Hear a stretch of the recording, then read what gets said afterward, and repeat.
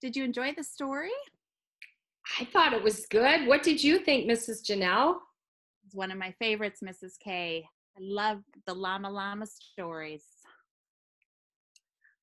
I wonder if you ever got mad at your mama for things, Mrs. Janelle.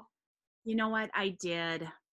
I think back when I was a little kid, sometimes maybe if I was bored or my mom asked me to do things I didn't want to do, sometimes I'd get a little crabby with her. Yeah. How about you, Miss K? Yeah, I would too. I can remember when my mom would maybe ask for my help to do something and I didn't want to do it. Then sometimes I would get crabby. Yeah. And getting crabby with my mama did not work out so good for me.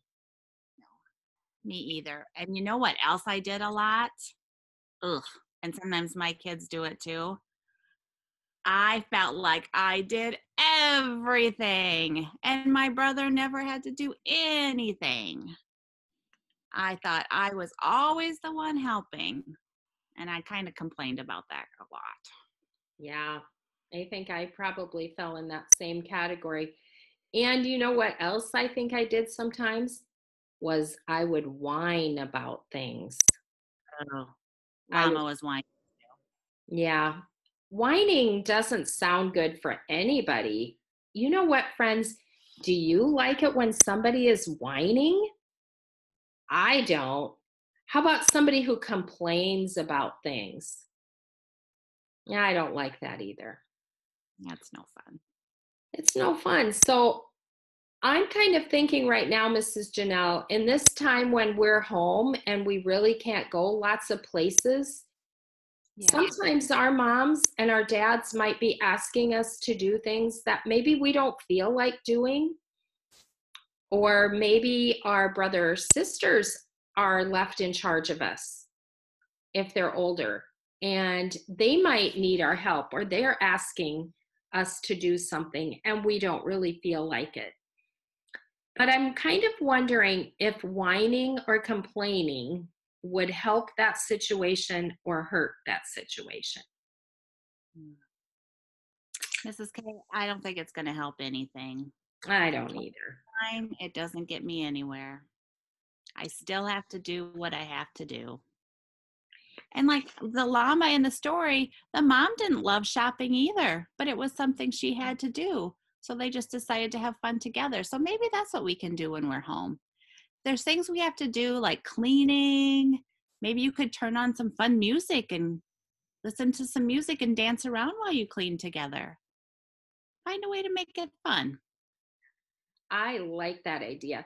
Try to bring some joy to what it is that you're doing try to use our growth mindset. We've talked about that before. Like, what right. could make this go faster or make me enjoy this better? Yeah. Hmm. Maybe even challenge yourself. Like my mom wants me to clean up my toys in the in my bedroom or in a playroom and maybe set the timer and see if you can beat the clock.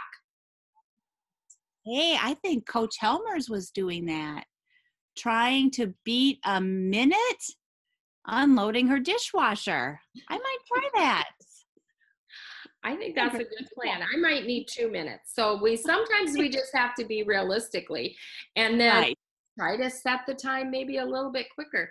But then maybe say after I've done this, then you can feel good about doing something and then maybe um, it's time to have fun with somebody in your family or just maybe doing something on your own maybe reading a book or coloring or you know just sitting outside or walking your dog or playing with a pet yeah there's a lot of options there are i've noticed in my family sometimes it's fun to be together and then sometimes we just need a little bit of time apart mm-hmm. just a little mm-hmm. bit of time to recharge and um, just kind of be alone with our thoughts for a second and then we're mm-hmm. ready to be all together as a family again that's a really good point we don't always have to be with other people when we're at home it's okay right. to have some just some time to yourself that's okay well this was a good book miss janelle a great book